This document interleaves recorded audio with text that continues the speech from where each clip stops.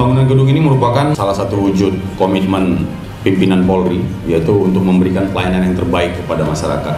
Dengan berdirinya gedung ini tentu kami bisa memberikan pelayanan dengan maksimal, pelayanan prima, sebagaimana yang sering disampaikan oleh Bapak Kapolri. Pelayanan prima ini tidak hanya di mulut saja, tapi ini harus sesuai dengan tindakan kita ketika kita memberikan pelayanan kepada masyarakat. Sekaligus juga saya mengucapkan terima kasih gedung logistik sudah selesai. Hari ini juga kita resmikan.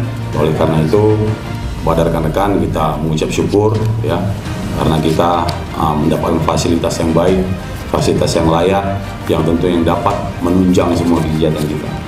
Peresmian gedung Sanika Satyawada ini bukan hanya sebagai simbol fisik semata, melainkan juga sebagai wujud nyata dari komitmen dan sinergitas antara pemerintah Kabupaten Banyumas dengan Polresta Banyumas dalam mendukung pelaksanaan tugas-tugas kepolisian.